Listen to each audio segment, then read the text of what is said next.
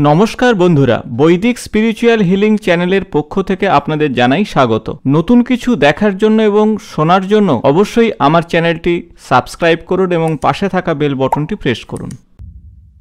হোলির আগে নিয়ে আসুন এই ছটি অত্যন্ত গুরুত্বপূর্ণ বস্তু। এমন অর্থ আসবে, বিশ্বাস করতে পারবেন না। যদি আপনি আপনার জীবনের কিছু পরিবর্তন যদি করতে চান তাহলে শাস্ত্রের বেশ কিছু গুরুত্বপূর্ণ বিষয়গুলি আপনার জীবনের সঙ্গে কিছুটা মানিয়ে নিতে হবে এবং সেই উপায়গুলি আপনাদের জীবনের সঙ্গে অবশ্যই যুক্ত করে এগিয়ে চলতে হবে। হয়তো আপনার পরিবারে অনেকেই পয়সা ইনকাম করে, কিন্তু কোনোভাবেই সেই অর্থ আপনি সঞ্চয় করতে পারছেন না। আর এই বিশেষ সমস্যার কারণ হতে পারে আপনার গৃহের বাস্তুদোষ। বাস্তুশাস্ত্র অনুসারে এমন বেশ কিছু বস্তুর বিষয়ে আলোচনা করা হয়েছে, যে বস্তুগুলি আমাদের গৃহে আনলে গৃহের নেগেটিভ শক্তি অতি সহজেই দূর হতে পারে। এবং সেই সাথে আপনার গৃহের অর্থনৈতিক জনিত সমস্যা এবং আপনার গৃহের কোলাহল এবং দ্বন্দ্ব সংক্রান্ত সমস্যা দূর হবে। গৃহে একটা সুন্দর বাতাবরণ তৈরি হবে এবং পারস্পরিক সমৃদ্ধিতে আপনারা এগিয়ে চলবেন।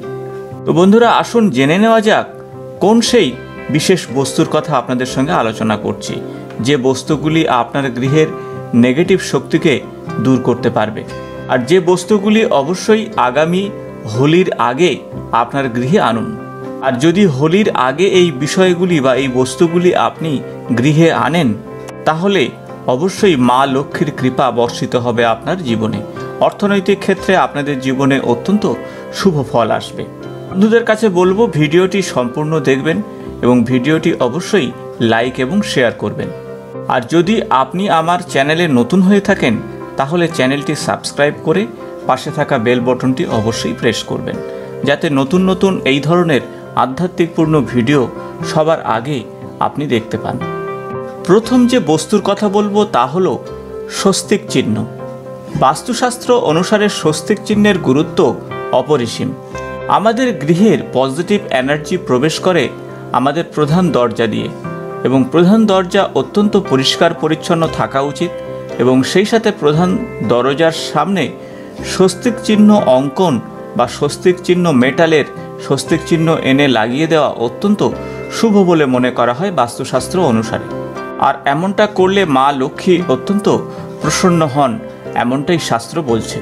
তাই আপনার দরজার দুদিকে যদি আপনার দুপাল্লা দরজা হয়, তাহলে অবশ্যই দুদিকে স্বস্তিক চিহ্ন আপনারা লাগান।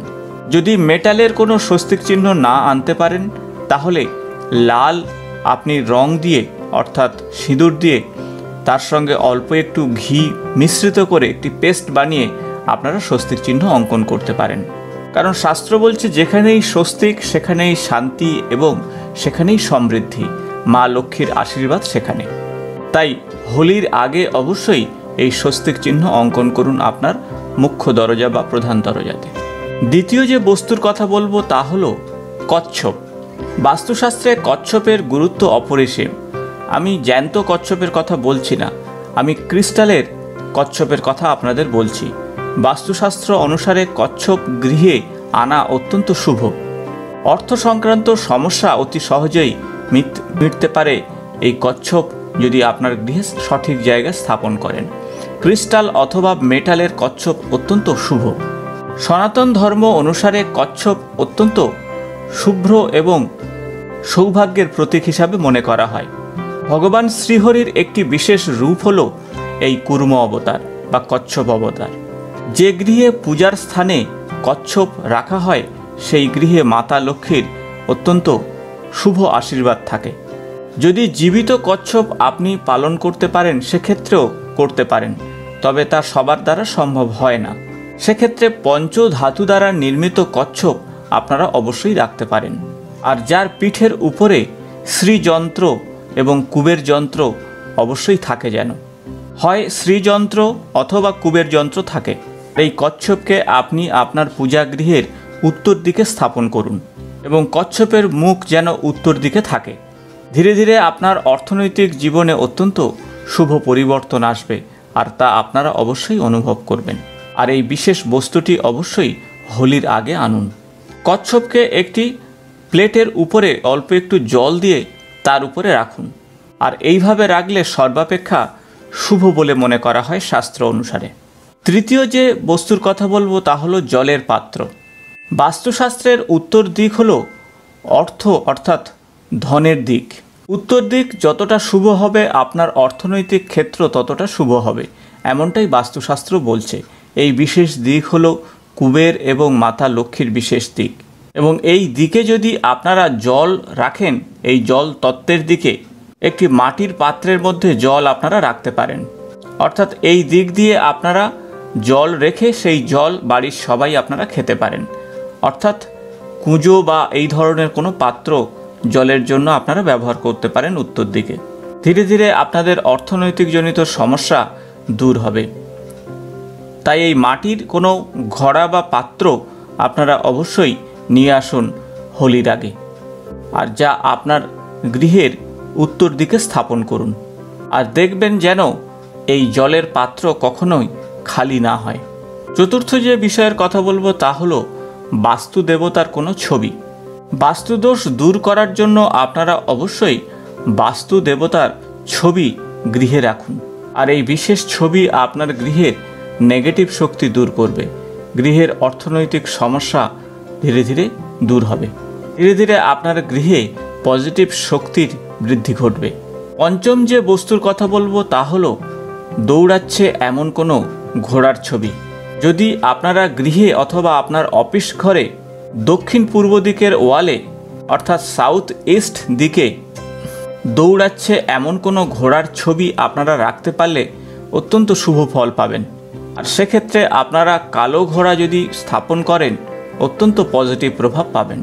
ধীরে ধীরে আপনার গৃহে আর্থিক দিক থেকে উন্নতি ঘটবে এবং গৃহে অর্থের প্রবাহ ধীরে ধীরে বৃদ্ধি পাবে। ক্ষেত্রে ঘোড়া আপনারা কালো অথবা লালও লাগাতে পারেন। এবং এই ঘোড়ার সংখ্যা যেন সাতটি হয়।